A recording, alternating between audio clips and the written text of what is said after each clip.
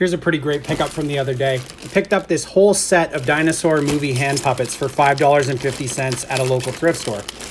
And inside it had all of them, including the Carnotaurus,